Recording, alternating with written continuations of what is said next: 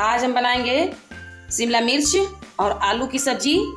तो शिमला मिर्च को मैंने कट करके रख लिया है। आलू को भी छिल के, धुल के कट करके रख लिया है।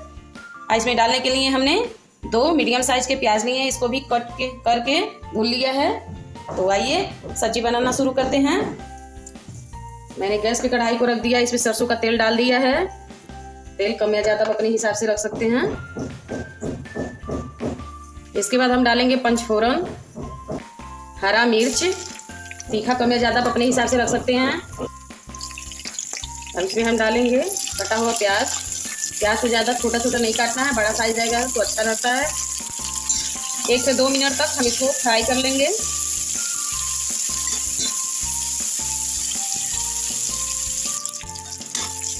प्याज जैसे दो मिनट फ्राई हो चुका है। अब इसमें हम कटा हुआ सब्ज़ी डाल देंगे।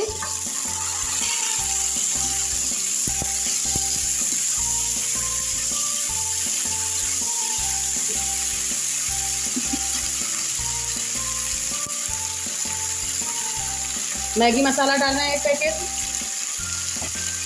आप कोई सा भी मसाला यूज़ कर सकते हैं। थोड़ा सा मैं गोल्डी मीट मसाला डाल रही हूँ। आधा चम्मच हल्दी।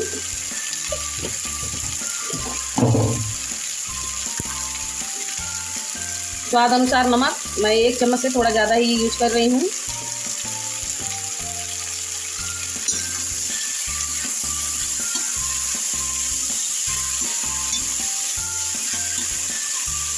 एक से दो मिनट तक हम ऐसे ही सब्ज़ी को स्लो फ्लेम पे भून लेंगे।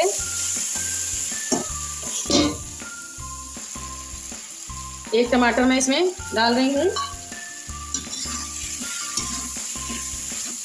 ऐसे ही एक से दो मिनट हम सब्ज़ी को भून लेंगे।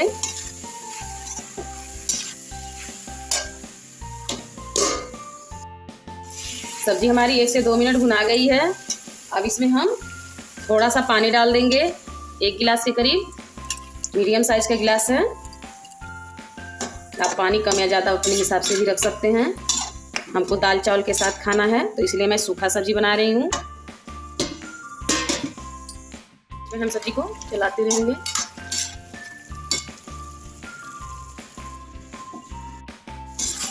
सब्ज़ी हमारी रेडी हो गई है। अब हम गैस को ऑफ़ कर देंगे।